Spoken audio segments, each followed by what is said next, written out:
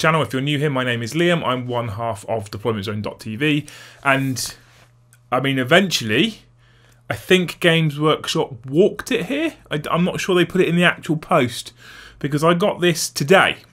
So I'm filming this video on the 8th of February, and if you have been following the Dark Angels release, you will know this codex was available for pre-order uh, back on the something uh, uh, more than a week ago. It was January still when you were able to pre-order this, uh, the 30th I think it was, and this came out on the 6th. So I received this preview copy of the Dark Angels codex two days after you all could buy it. Sounds terrible, I know, but Games Workshop had some issues. They explained to us that they had these issues and they have finally got it to us. So a big thanks to Games Workshop and a huge shout out to the guys there that have continued to work throughout this pandemic and continue to get hobby stuff out to all of us, whether that be models, paints, books, etc. So a big thank you, Games Workshop. I have finally got it, and I did promise you that when I got my hands on this codex, I would give it a review. So um, here it is. Here's my review of the Dark Angels supplement. First and most important thing to note about the Dark Angels supplement is it is exactly that. It is a supplement. It is not a codex in itself. So previous editions of 40k we have known the Dark Angels to have their own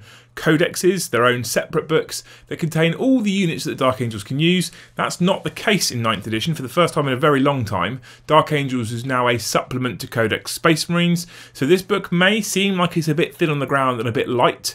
It's a bit light specifically for Primaris additional rules or Space Marine additional rules? Well, that's because you get all of that stuff in the Space Marine Codex anyway. So all that stuff that's in the 9th edition Space Marine Codex, all those stratagems you have access to, transhuman, all that kind of stuff, that all exists. You can use all of that in the Dark Angels or with the Dark Angel supplement. You can also use all of the units uh, I think all of the units in Codex Space Marines. I don't think there's any restrictions for the Dark Angels, so you get access to everything everything that is in that book. And historically, I think Dark Angels, Blood Angels, Space Wolves have had some units they didn't have access to, and most units they did. Well, this is different now. You get access to all of that stuff and the additional Dark Angels units. And Dark Angels are very lucky because they actually have quite a few additional units. We'll cover some of those when we go on to the data sheets. So, what else does that mean for Dark Angels? Well, they clearly uh, still benefit from all the standard Space Marine rules. So, they still get things like Shock Assault and Bolter Discipline. They still have combat doctrines for um, Devastator Doctrine, Tactical Doctrine, Assault Doctrine, etc. But they also gain additional special rules, additional sort of universal special rules on top of those standard special rules that the Space Marines get which includes obviously their chapter trait, which is called Grim Resolve, um, and some extra stuff. So, Grim Resolve, if you're not aware, and I don't know if this is new just to the Space Marine Codex 9th edition or whether this was the old Grim Resolve rules anyway, they automatically pass combat attrition tests, so you don't have to take, if they fail a morale, they'll never lose any more than one, which is basically how it used to be in 8th edition anyway.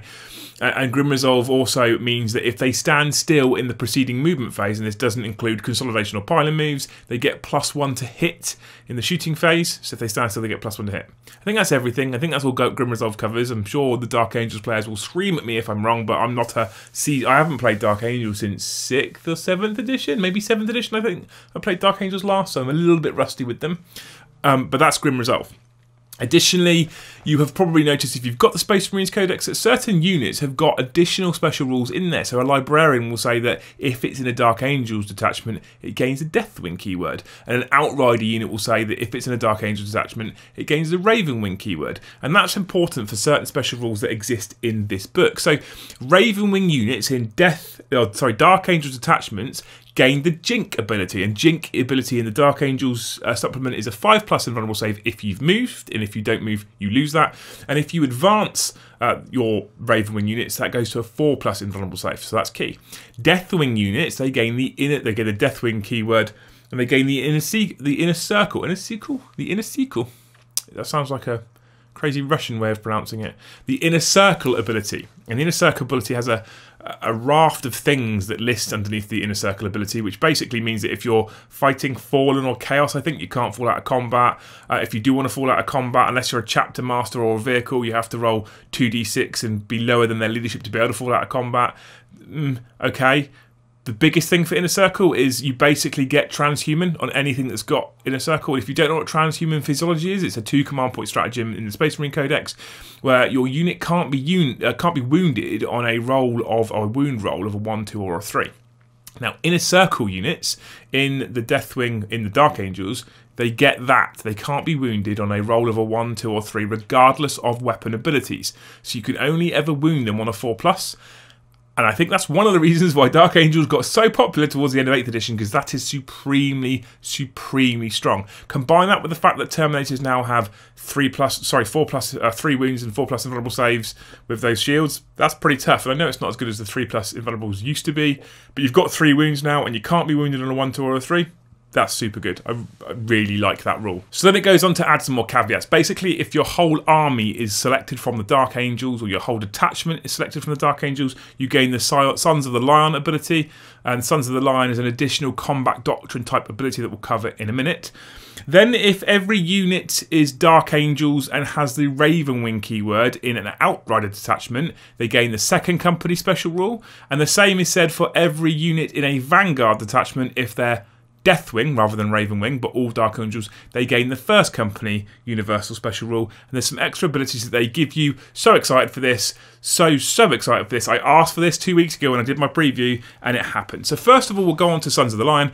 Essentially, Dark Angels are really lucky. They get like three abilities essentially throughout the whole of the um of the of the tactical doctrine. So, not the tactical doctrine, but the combat doctrine. So most of the chapters that I've seen so far have an ability that's in a doctrine, a tactical doctrine ability, and it's a bolt on to the normal tactical, doc- tactical doctrines. If you don't know Space Marines, uh, tactical, devastate, and assault doctrines basically mean that certain weapons, when you're in those particular doctrines, get an additional minus one to their armor penetration value. Um, you start off in Devastator, you have to move to tactical nowadays in turn two, and if you don't know what I'm talking about, uh, early t- uh, 8th edition, you could choose. Then you moved into, you could stay into a tactical doctrine in turn three, or you could move into assault. And turn four, you had to finally move into assault, or you could again move into assault in turn three, should you choose. Now, Sons of the Lion is really strong because it gives you abilities in both, in fact, in all three doctrines. So if you're in the Devastator doctrine, um, you get three inch additional move for Ravenwing units so they move even further, and they're pretty fast anyway.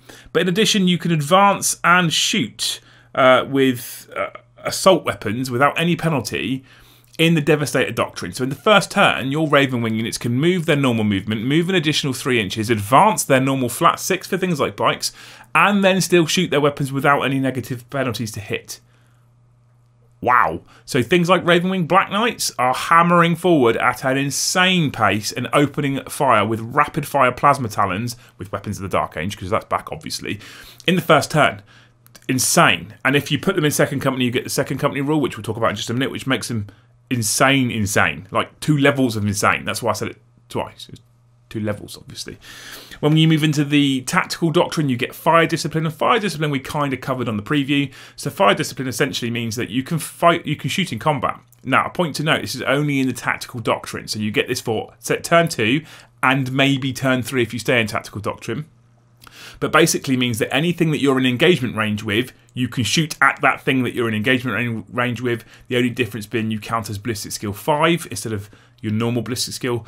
But clearly, if you're in combat with it, that and it's your shooting phase, you've stood still, which means that with uh, rightly pointed out to me by numerous people on that last video. It means that with um, Grim Resolve, you get plus one to hit because you stood still. So your Ballistic Skill 5 means Ballistic Skill 4. That's really, really strong. I mean, think about it on things like Flamestorm Aggressors. You're auto hitting because it's a flamer, so the Ballistic Skill 5 plus makes no difference to you anyway. And you can auto flame people in combat and then hit them with your Power Fists afterwards. Really love that ability. Again, you get that for one or two turns if you stay in Tactical Doctrine. And I think, if I'm honest, I think you're probably going to stay in Tactical Doctrine with Dark Angels for the first, second and third turn because of that ability, and then you'll move into the Assault Doctrine in turn four normally, unless specifically you've got a ton of Deathwing units and you're facing a ton of vehicles, because the additional rule that you get is implacable, and implacable happens in the Assault Doctrine. And basically, Deathwing infantry and Deathwing dreadnought units, uh, they basically, or characters, if they're attacking characters or vehicles, is that right? Wait a minute. Okay, I checked it. It's not vehicles. It's if you attack a character unit or a unit that contains any models with a wound characteristic of eight or more, you can re roll the wound roll. So it is vehicles because it's a unit with a model with a wounds characteristic of eight or more. I say it is. It's not vehicles, is it? Because I, I, suppose there is six wound vehicles out there, like venoms and stuff. So anything with more than eight wounds or a character model, you can uh, you can reroll your failed to wounds. It's well, I say just say reroll wounds. So that's really strong. So additional speed and firing without penalty for Raven Wing, essentially in the Devastator Doctrine, Tactical Doctrine, everything can fire even in combat. And then Assault Doctrine, your Deathwing are battering things that have got more than eight wounds or characters. Wow. So that's lots of extra rules already just for playing Dark Angels. So you think they'd leave it there? No, they didn't. They didn't leave it there. They, they added more rules in. So we then go on to the first and second company uh, rules. So remember, if you have a vanguard with pure dark angels and they all they all have to have the Deathwing keyword, you gain the first company in that vanguard. Deathwing Terminator squads, Terminator squads, Terminator assault squads, and Relic Terminator squads in this detachment gain objective secured. And if your warlord is part of this detachment, the detachment's command benefits are plus three. So I said that I wanted them as troops or gain your command points back. They gave us both everything. They give everything. The second company, second company, uh, bike squads and outrider squads units in this detachment gain the objective secured, and if your warlord is part of this detachment, it's plus three command points. Primaris Outriders in an Outrider detachment, so the one with all the fasts, basically, they all get OBSEC. Um, because they're Raven Wing, in terms of the Space Marine book, they all gain Jink as well, so five up invulnerable just for moving. And if you put your Warlord in there, I mean, it's got to be a Raven Wing model, but you, you get your command points back and it's free. Thank you. Thank you, Games Workshop. So you think that would be enough? You think that's enough extra rules to give you? No, no, no. No, no, no, no. You can have some more rules. Have some more rules, Dark Angels players. And there's one that calls it's called Rites of Initiation. Now we have seen in the Space Marine Codex and in some of the other books. I think Death Guard give you this with um, different. I can't remember they call them, contagions or something. Contagion, not contagion, but is it? But you can pay points for extra rules. Is where I'm going with it. Um, so in the Space Marine book, you can pay 40 points to make your captain a chapter master, or 25 points to make your librarian a chief librarian, and they gain some additional rules for those. Um, which the chapter master, if you take him as, as warlord trait, you can give loads of rerolls, like reroll to hits and stuff, instead of just reroll ones and stuff like that. The librarian, he knows an additional psychic power, a standard, and you can take a relic or is it a relic or is this warlord trait that gives plus one to psychic tests? So rites of initiation is points based, so you have to pay points to give this to a specific unit. And I don't think there's a limit on how many you can give it to, as far as I can see. Um, and you, you they gain they become members of the Deathwing. They gain the Deathwing ability, and as we've all know, because we've just been talking about it, Deathwing units gain inner circle. So basically, transhumans. You're basically paying points to give units transhuman forever. I mean, to some extent, it doesn't count for the bottom four or five units because they're vehicles, and you can't give transhuman or you can't give inner circles one, two, or three can't wound you doesn't count on anything unless it's infantry. But your first and second choices are a captain or a primaris lieutenant um, equipped with a storm shield. It says specifically, I don't know why it says specifically with a storm shield, but it does. Uh, and then Dreadnought, Land Raider, Repulsor, Storm Raven, or uh, and transports. You can pay points to make them Deathwing. Doesn't sound like a big deal, but when you think that they then have the Deathwing keyword, they don't ruin your Vanguard detachment if you're taking Deathwing Terminators um, and Deathwing units in and Blade Guard, by the way, are Deathwing units. So you can take Blade Guard and Death Guard Terminators, and you can pay some points for a couple of Dreadnoughts and a Repulsor, and they all get to go in this Vanguard, and they're all free, and you don't, it doesn't break your objective secured rule. Your Terminators keep the objective secured rule because you've paid points to make them Deathwing. I think that's really, really, really, really good. That's insanely good. It clearly excludes name characters. That's about it, though. Um, wow. Being a supplement, we then move on to the stratagems, and there's only two pages. And I say only two pages, but actually, the stratagems on the whole, they're not that bad. They're quite narrative. They predominantly focus around specific Deathwing or Ravenwing units. You don't get a lot that's just for sort of Dark Angels. There's a couple of standard ones where you can take an additional relic or additional warlord trait. Weapons of the Dark Angels. Uh, weapons of the Dark Angels. Weapons that that would be a better name. No, maybe not. Weapons of the Dark Age is still in there for two command points where you take plasma weapons and you add one to the damage characteristics, so that's good. There's a really cool stratagem called Secret Agenda for a single command point where when you're picking your secondary objectives, you can hide them from your opponent and you don't have to tell them until you first score any points for those secondary objectives. So that's really, really cool. But again, like I say, most of them are around Ravenwing. Swift Strike makes means you can you can sort of pile in or fall out of combat, kind of if you've been fighting. Um, there's a couple of other interesting ones that are in there that we some of which we've seen in the in the previous preview. Um, some of them we haven't. Deathwing Assault, for example, single command point, and if you were sat, set up on the battlefield that turn, every time you shoot, um, you get plus one to hit which is quite nice. Full throttle from Ravenwing is 12 inch move in your advance rather than normal, but you can't shoot. Again, that's quite cool. High speed focus. If you're shot at with a Ravenwing unit, you can spend a command point and you get a 4 plus invulnerable save instead of the 5 plus that you get as standard from Jink. So some, there's some really cool stratagems in there. Again, if you're not focusing on Ravenwing or Deathwing, you're not going to see huge amounts of benefits from these stratagems but they're not bad. One that I do think is really strong is called Tactical Appraisal. It's a single command point. Basically, your Warlord, I believe it is, picks a unit within six inches, and they and then he picks a combat doctrine for them. So if your unit's tied up in combat, you potentially could go, we're going to put you back in tactical doctrine, that specific unit, if I'm within six inches of you, obviously, and then they can fight them in combat, stuff like that. That's quite cool. Um, but on the whole, like I said, nothing seems too turbo broken for the Dark Angels in terms of stratagems. It's just all the rules that came beforehand that seems ridiculously strong. So the Dark Angel supplement gains the six warlord traits like most supplements stroke codexes get. Don't forget you've still got access to the six warlord traits that are standard in the Space Marine book. Not to mention if you have a Phobos, you can have the Vanguard ones, etc. Um, but we also gain an additional four warlord traits in this book: two for Ravenwing and two for Deathwing. Um, Brilliant Strategist is pretty good, which is the one that Azrael comes with as standard. And if you're a Dark Angels player, you're going to want to field Azrael it's he's mental. Um, but brilliant strategist is his warlord trait, and basically. Uh, each time a model in that unit, so, that's uh, you pick a unit, sorry, within six inches in your command phase. I should have mentioned, but each time a model in that unit makes an attack, if the attack doctrine is active, it counts as Devastator. If the Devastator doctrine is active, it counts as Tactical. Um, no, sorry. If the assault doctrine is active, it counts as tactical. I keep forgetting which way round it goes. Um, so that's cool. Not too bad. There's a couple of others that personally I don't think are that great. Stubborn tenacity is very, very interesting. Basically, if your warlord is slain, you can keep him on the battlefield until the start of the next turn or the end of the game, whichever one comes first.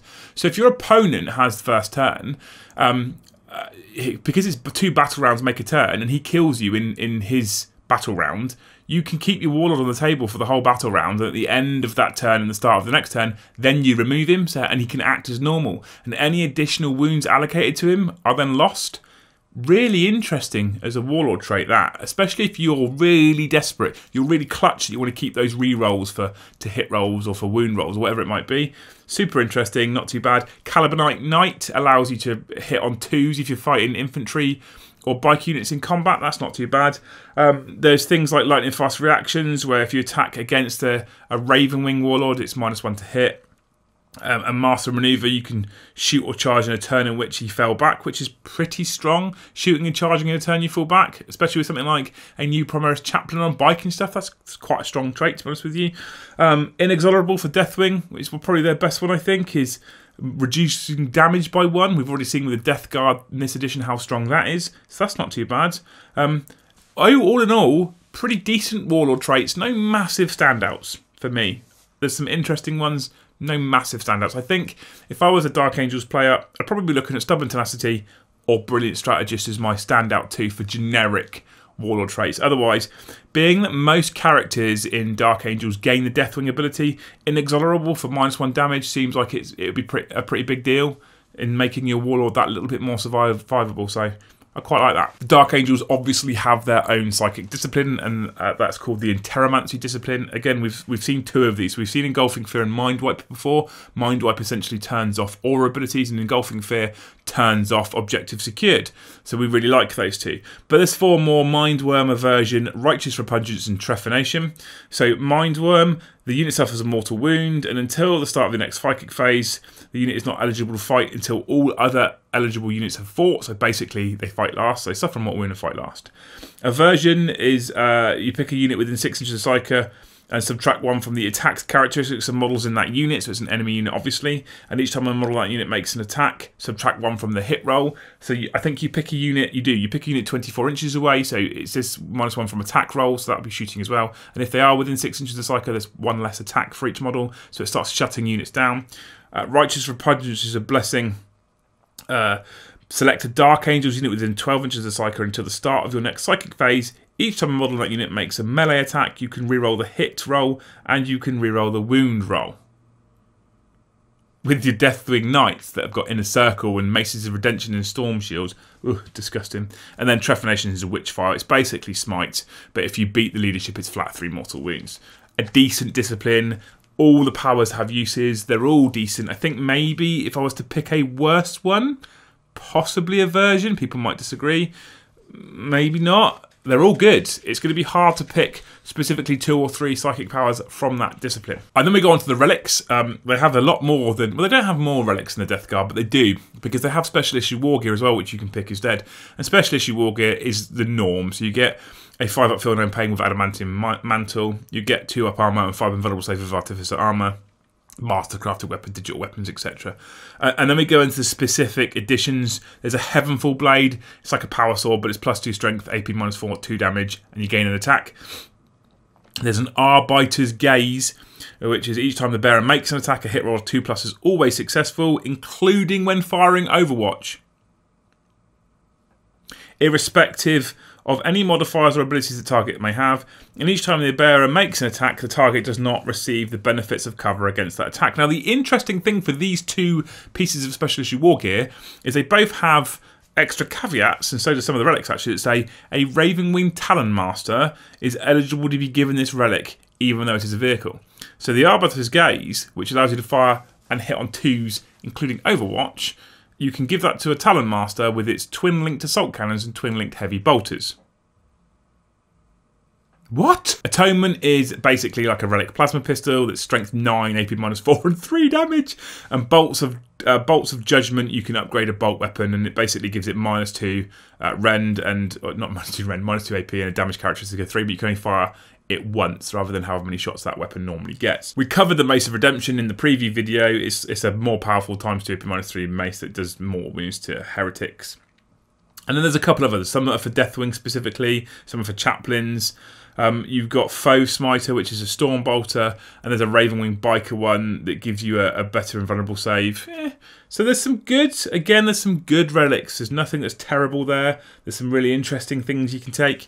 Uh, it's not I I struggle to see if any of them, or struggle to believe that any of them are that much better than some of the relics that already exist in Codex Space Marines. They're not massively game changing. I really like Arbiter's Gaze on a Talon Master because of that ability to always hit on twos, no matter what, no matter how far you've moved, no matter what's what's um, got abilities that make you're negative to hit. And even in Overwatch, I mean, Overwatch having that hitting on twos is pretty disgusting, but we like it. We like it a lot. And then we go on to the secondary objectives, and there's some really interesting secondary objectives. Purge the enemy. Your opponent selects a character, and if they don't have any characters, they select a warlord. You get six victory points for killing it with a melee attack. You get additional three victory points if you killed it with an inner circle model. So we're kind of now we're kind of now sort of playing out the hunt, and you gain additional six victory points if the unit that killed it was a Dark Angels model that survived the whole battle. So if you add them up, 6, 3, 6, that's a whole of 15 victory points. So if you kill the enemy character within a circle model that doesn't die, you get 15 victory points. Basically, is the long and short of it.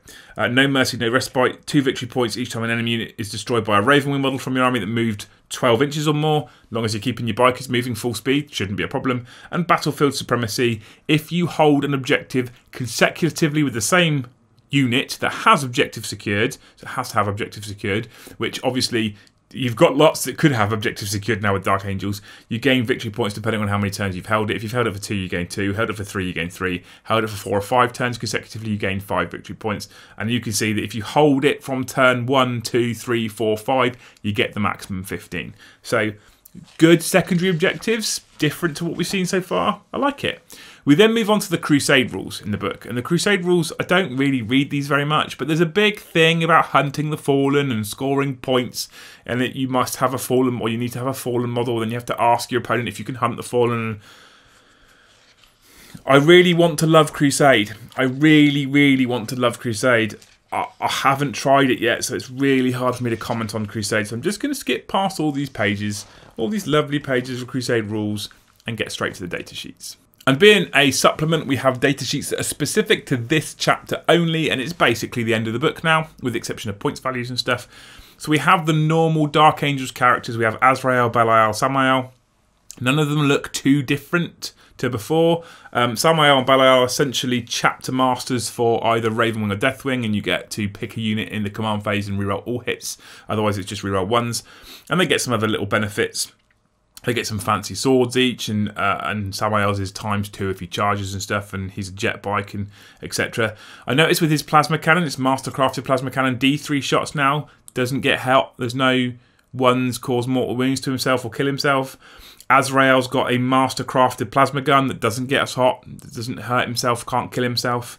I like that they're taking that away from specialist characters or named characters that we've had for aeons and aeons. I really, I really do appreciate that. Azrael is dirt good. He gains plus two command points. Uh, he has a chapter master ability, so you can pick a unit in a command phase. He's got his normal Rites of Battle ability. The lion helm means that any unit within six inches gets a four plus invulnerable save.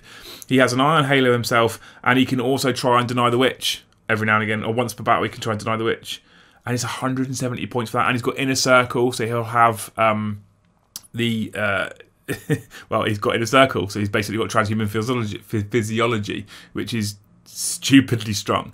Really, really good. Azrael is a really good character for 170 points. I'd argue that to some extent in a Dark Angels army, he's borderline an auto include for that with the abilities he gives you and the survivability he offers to units nearby with uh, with chucking out that 4 plus invulnerable save. Um, we've got Chief Librarian Ezekiel and Asmodai, or Asmodai. I got told off for calling it Asmodai by a guy called John who just loves to watch my videos and criticise, and now he's seen this particular part of this video, he'll probably be on the phone. So Asmodai and Ezekiel. Ezekiel is basically like a chief librarian, but also gives plus one attack to everything within six inches. So like a Blade Guard Ancient does, he does that as well, which is quite nice, but that's to everything within six inches. Asmodai um, is an interrogator chaplain with, I think he can take an extra litany essentially, but he's, again, not much changed in their rules. Uh, and then we go on to things like the Talon Masters. We've got Ravenwing Talon Master who has a twin assault cannon, a twin heavy bolter, so buckets and buckets of shots. Remember now that heavy bolters are damage two, um, and he gets he allows you to reroll ones to wounds because he's basically a lieutenant in a land speeder and he's got his power sword and any power sword relic you can now give him because why wouldn't you want to give a land speeder a power sword, which is amazing. Um, yeah, really good unit, like it a lot. Um, a lot of time for the Talon Master. I think you'll see him a lot as well in Dark Angels units. Um, pretty powerful. You've got Lazarus, who I always thought was a lieutenant, but looks like he's sort of captain ability. And then you've got Deathwing Strike Master, which is essentially a Deathwing lieutenant now. I don't know if they existed before. Tell me in the comments below, did Deathwing Strike Masters exist in 8th edition? Because I think this is the first time I've seen one, but they exist now. And then we go on to the standard Deathwing Knights, Deathwing Terminators, Deathwing Command Squad, Ravenwing Apothecary, Ravenwing Champion, Ravenwing Ancient. There's nothing new here. Apothecaries get people up, Champions can heroically intervene, Ancients have banners that allow you to shoot when you die. I'm not going to bore you with details. It's pretty standard stuff. Obviously, the Ravenwing Black Knights are up to three wounds. That's pretty strong. They've got the Plasma Talons and Weapons of the Dark Age still exists. They also have Jink, and they're super lucky. They have Inner Circle as well. But, I mean, they're not infantry. So, as far as I'm aware, they... Uh, they don't get transhuman, thankfully, because that would be stupid. Because um, if they were infantry, they'd get transhuman. I say they get trans, they don't get transhuman. They get that additional part of the inner circle ability that says it only applies to infantry and they can't be wounded on one, twos, and threes. So we've still got the Dark Shroud, which is minus one to hit. Still really strong. Got the Land Speeder Vengeance, which can still do mortal wounds to itself. It's a heavy 2d3 standard strength 8 AP minus 3, 2 damage blast. I like it but it is still heavy. Uh, does it count as a vehicle? It counts as a vehicle. So now it can fire, move and fire without penalty, which is one of the things that made it terrible in 8th edition. Now it's much, much better. The Dark Talon still causes tons of mortal wounds. Its Rift Cannon is heavy D3 shots, strength 12. Each time an attack made with this weapon successfully wounds, do not make a saving throw. The target suffers 3 mortal wounds. So potential for 9 mortal wounds there from the Rift Cannon, and being that it's a heavy D3 blast, if you're shooting a unit with 10 or more mod or more than 10 models, you get flat 3 shots, hitting on 3s, and if you wound, strength 12 remember, if you wound, 3 mortal wounds. Insane. Absolutely insane. It also has a stasis bomb, which does more mortal wounds, and then whatever gets caught in stasis can't fall back. The Nephilim Jet Fighter Again, it's a vehicle now, so it doesn't suffer the penalty for moving and firing, and it also gets plus one to hit against aircraft. So that's actually quite a decent anti-aircraft unit now with its twin las cannon and its missiles. I quite like that. And the missiles, if you target an aircraft with your missiles, it's flat four damage. Strength 7, AP minus 3, flat 4 damage. That's really good. And no longer one use only. I don't know if they were one use only before. And then it's on to points values and attachment abilities or weapon abilities that are sort of summarized as a code as a, as supplements and codexes do now. It's a supplement that's that's really strong and gives you tons of extra abilities and rules. I think you're going to see loads of Dark Angels players. Honestly, I, I the Blood Angel supplement was really good, and I felt like the Space Wolf supplement was a little bit lackluster. Um, I think that if you were to hold the Space Marines supplements that existed so far, Blood Angels and Space Wolf, there was a clear winner, and it was Blood Angels quite easily. This is a new contender and a new challenger. Now, I've been asked, and I think I spoke about this on the last video, whether Codex Creep was real. I don't know. It's really strong. There's loads of cool extra rules. I don't know whether I would call this necessarily codex creep. Lots of people claiming that it is. Lots of people claiming that this is codex creep and things are getting stronger and stronger. I'm not so sure. I don't know if I would honestly say that these are a lot more powerful than Death Guard, for example. I don't even know if I'd call them more powerful. I'd be interested to see how they play off against each other. They're good. They're really, really good, and there's tons of extra rules um, that allow you to field your Deathwing and your Ravenwing narratively. But you've got to remember that there are things that exist within 40k 9th edition that's going to cause you some problems. Now, if you want to run pure Ravenwing um, and a single Outriders attachment, that's a point. Actually, I've got to check something a minute. So I checked, Ravenwing Black Knights are elites choices, which is really interesting. So if you want to take an Outrider attachment for Ravenwing, you need Bike squads and Outrider squads. And if you then take Black Knights, you only have two elite slots in an Outrider attachment. So if you want more than two squads of Black Knights or additional elites on top of that, you're going to have to start expanding into bigger uh, detachments or more detachments and then start spending command points to do that. Same can be said for Deathwing. You can get three elites choices in there. Well, you can get more than three elites choices, obviously, in there, but you need three elites choices. You're restricted to two heavies and two fast attack. So, although they have these extra abilities that mean that Vanguard and Outrider detachments now gain things like objective secured, it's still restrictive. You may still need a battalion or a patrol or something extra to bolt onto the side of it. And let's be fair, bolting a patrol on isn't a massive issue. It costs you two command points, which in the old money, if you had a patrol and a and a outrider, because your warlord would be in the patrol detachment to refund the two, you cost you three. A little bit better value, I suppose. Add in Azrael, you get your two back. Not too bad. Perhaps still get 12 command points. There's ways round it, is what I'm saying. Uh, but I don't think it's as insanely powerful as maybe people are making out.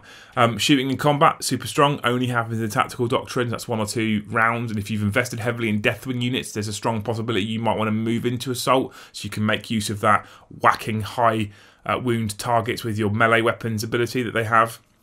I really like it. I think that what's nice about this codex is there isn't a definite obvious you want to be running Deathwing detachments or Ravenwing detachments or Greenwing detachments. There's no definite relic to take. There's no definite warlord trait. There's no definite psychic power. To me, that's a sign of a really good supplement because there's lots of variety to choose from, and I think people can go different directions with that same supplement, and that's what I like about it. You won't necessarily see the same thing over and over again. Additionally, like I said, it's a bolt onto the Space Marine Codex. You've still got all that standard Space Marine stuff as well. There's loads of options for Dark Angels. Dark Angels players, I think, to the start of 8th edition specifically, probably felt a little bit unloved and like their faction wasn't doing so well. And I can understand why. It definitely wasn't sort of narratively how a Dark Angels army would want to work.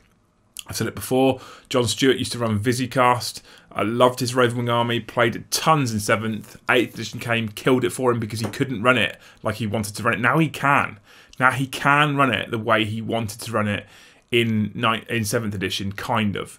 And he gets objective secured bikes and outriders. He doesn't get obsec um, Black Knights, but he gets his command points back if he runs an Outriders attachment. Loads of benefits there. Real big fan of this book. I think it's super powerful. I think you're going to see it quite a lot. Um, and if you're a competitive player, yeah, I think you're still going to see it quite a lot. And I would argue that maybe it's on par, if not a bit better than the Blood Angel supplement. I'm not sure. I'm not sure how that goes yet. I'm not sure how that fits. But I just think because they get so many extra rules in all of the different tactical doctrines or the um, combat doctrines, I just think it feels that little bit stronger as a well-rounded piece, as a well-rounded supplement. And there you have it. That's my review of supplement Dark Angels. Um, finally, after you all could buy it and read it anyway. So don't listen to me. You could have just read it instead of listening to me waffle on. Um, but like I said, a massive thank you to Games Workshop for finally getting it out to me. Um, and it did come with their apologies. They're accepted. Your apologies are accepted. We'll take them. Take them on board. Just don't, please don't let it happen again. It was painful waiting that long. People bought it from a shop and got it before I was able to even review it, which I, I shouldn't be ungrateful. Um, so, if you enjoyed this uh, video, then please think about subscribing to the channel. There's plenty of these now coming up. We're doing this every single Tuesday, 5.30 every Tuesday. Promised you, still happening. Uh, if you want to support the channel further, you can head on over to www.deploymentzone.tv and subscribe there. We've just put out a massive and major announcement on deploymentzone.tv which we're super excited about and really keen to share with people. And I'll be sharing it on YouTube soon, just to tease you, but I haven't shared it tonight because it's probably too soon maybe. But there's a big announcement on the website, so if you can't wait, you can sub to DZTV and go check out what that big announcement is. Additionally, there's a link directly below, and I will link the Dark Angels supplement and the Dark Angels page on Element Games. And if you head on over to Element Games, using that link, it's an affiliate link. They know you came from us, and me and Winters get a little kickback for every purchase make on Element Games. Thank you so much. I found out recently there's a league there's like an affiliate league, and you can be placed. I say recent, I found it a little while ago that there's an affiliate league, and we I like being first in things, and we're not first currently. So buy more Warhammer. Lockdown. What have you got? What else have you got to do apart from build and paint Warhammer? buy more Warhammer. Uh, additionally, if you go onto the Element Games website and search Deployment Zone, we're now starting to put Deployment Zone merchandise in the Element Games web store, and you can go and find DZTV dice in there. They're back in stock and they're in the web store. Uh, finally, there's a discount code below for 20% off all beard care products with a company called The Beard Struggle. Super good guys over there. I know the guy who owns the company. Um, so big thumbs up to The Beard Struggle for giving me a 20% discount to hand out to all you wonderful people. Um, and that's about that. Perfect. I guess I've got to wait three or four weeks for the Dark Eldar Codex now. Thanks very much for watching. I'll see you in the next one.